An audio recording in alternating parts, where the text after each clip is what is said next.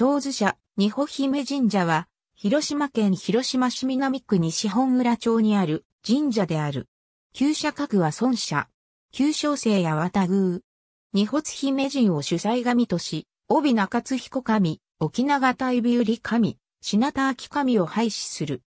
地元姫神は、神明からニュート姫神と同神とされ、古代この地が主者の産地であったことを示すものである。社殿によれば、神宮皇后が三冠征伐の祈祷に、当地で一泊し、霊言のあった二発姫神を鎮祭した。翌日出発する際に邪気払いとして放った矢が、現在地の山に当たったので、その矢を身体として、二歩島の鎮守としたのが、神社の始まりであるという。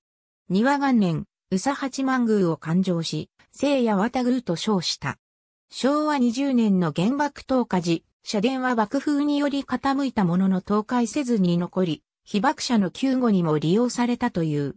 平成8年10月、本殿、拝殿、上手社が広島市の被爆建物リストに登録された。平成19年9月27日未明に出荷、本殿や拝殿などを消失した。消失した社殿は、建築様式から享保年間に再建されたものと見られる。